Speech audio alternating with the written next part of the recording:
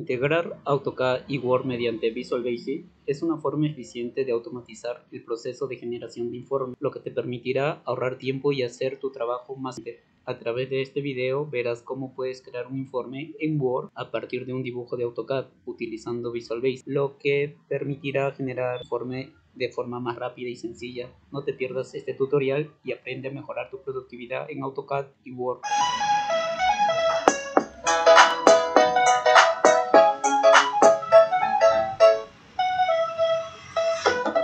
Voy a poner doble clic sobre como muro 1, aquí en blanco, voy a irme al Word y en el Word voy a encontrar algunas variables, lo voy a copiar y lo voy a explicar. Pego acá, le voy a dar un espacio y acá Workbook es el documento de Word. Vamos a habilitar esa opción en herramienta Tools. Vamos a Reference. Nos abre todo esto de aquí. Y acá buscan lo que es la palabra Microsoft Word. Puede estar al fondo o bueno, ya tienen que encontrarlo y luego le dan en OK. Esta es una variable de tipo variante, es decir, que puede ser un texto, un punto, una tabla, cualquier cosa es, es variante. Y luego le indico de que voy a definir una variable por acá text. Eso de aquí lo puedo ver acá en el espacio de trabajo. He creado este texto llamado ingeniería. Si nos damos cuenta en propiedades dice text. Menciono eso también porque hay mtext, no se vayan a confundir. Luego pego este código. Esto de acá es para ocultar mi formulario una vez que lo ejecute. Aquí le estoy indicando de que si hay algún error pues vaya la línea que sí funciona. Lo que pasa es que hay veces vamos a seleccionar un texto y no sé, por alguna razón no pueden escoger ese texto y le dan más a la derecha o más arriba y no escogen el texto y entonces ahí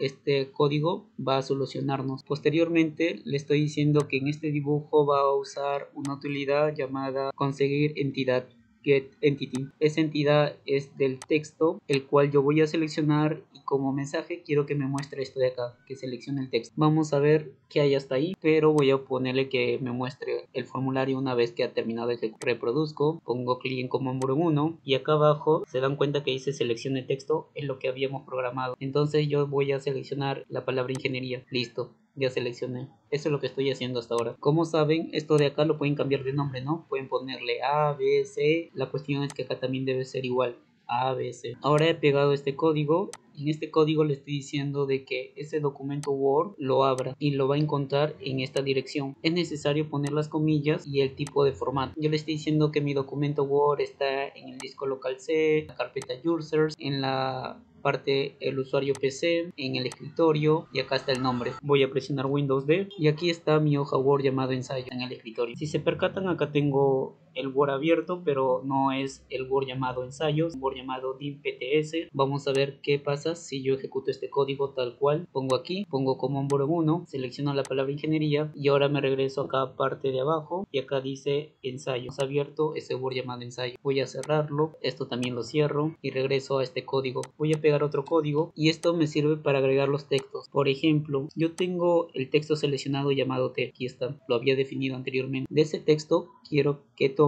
la propiedad que es texto en sí. Esta primera línea significa de que yo voy a tipear un texto en una seleccionada región o parte del Word y ese texto va a tener este contenido. La siguiente línea le estamos diciendo de que una vez que yo he puesto este texto le dé un enter para continuar en el otro párrafo o en el siguiente arreglón. Vamos a resetear esta parte y vamos a volver a ejecutar. Presionamos como un 1, seleccionamos la palabra ingeniería y miren aquí ya lo ha puesto automáticamente ingeniería. Voy a cerrar esto de acá, voy a ponerle no guardar. Ahora voy a decirle que este Word también se cierre tras haber escrito el texto para ello voy a poner wd.close.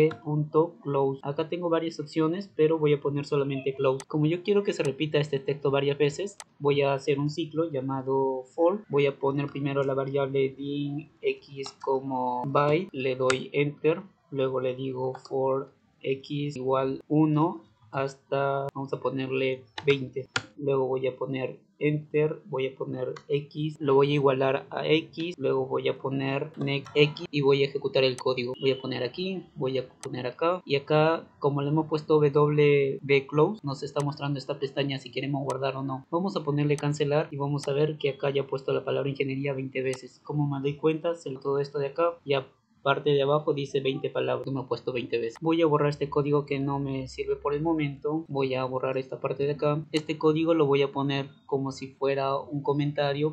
La opción de aquí. Ya se ha puesto en verde. Voy a pegar otro código. Esto de aquí. Pero acá voy a ocultar estas opciones. Donde dice con error resume next voy a resetear. Voy a ponerlo en código o en comentario. Y lo que estoy haciendo ahora es lo siguiente. Acá le estoy diciendo de que una vez que abierto el Word presione enter para pasar al siguiente párrafo. Luego le voy a indicar de que agregue un texto y el contenido va a ser la palabra título. Luego a ese título el formato va a tener un alineamiento centrado. Si se dan cuenta acá hay una rayita que está parpadeando. Esa rayita que está parpadeando le estoy indicando de que se mueva a la derecha. O sea esta rayita va a estar en Word ¿no? que se mueva a la derecha y luego que se mueva cierta cantidad de caracteres. Esa, cantidad es igual a 1. Le puedo decir 2, 3, ya bueno, eso ya depende de ustedes. Ese es como presionarle un enter, ¿no? Y luego acá, una vez que se ha movido ciertos caracteres, que le presione un enter para seguir a la siguiente línea, pero ahora mi texto ya no va a estar en el medio, sino que lo coloque al lado izquierdo. Voy a ejecutar para que vean qué es lo que sucede. Voy a poner como número 1, me abre el Word, me muestra esta pestaña, le pongo cancelar y acá está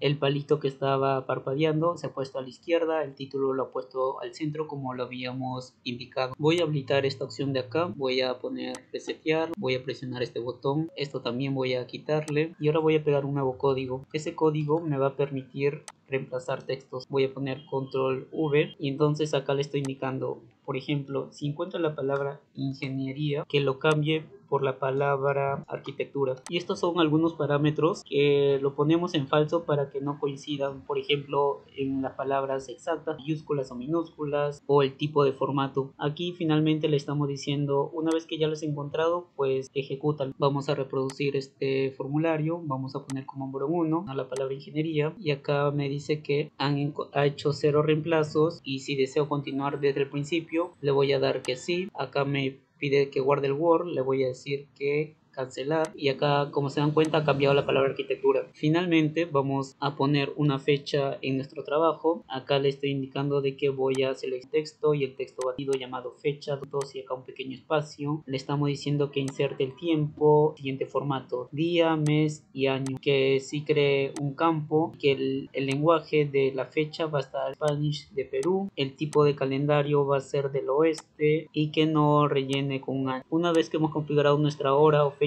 vamos a llamar a una aplicación llamado Macronate. Todos los Words lo tienen por defecto llamado insertar fecha hora. Como le digo, eso lo vas a encontrar en cualquier Word. Y luego que le dé un Enter para pasar al siguiente párrafo. Vamos a ver lo que sucede. Pongo ejecutar como un burón 1. Me pide que guarde los datos. Le voy a decir cancelar y acá automáticamente ven la palabra fecha. Esta es una macro. Para que vean cómo quedó el trabajo, voy a ejecutar todo el código. Voy a ver que no está abierto ensayo. Cerrarlo. Le voy a poner no guardar y ahora sí lo ejecuto. Acá como número 1 voy a poner la palabra. Acá me dice que hice reemplazo, le voy a dar que sí, le voy a poner que no guardar o cancelar mejor y aquí está. Entonces usted podrían agregar más textos, más palabras para que pueda ir avanzando con su informe y eso es todo por ahora. Muchas gracias.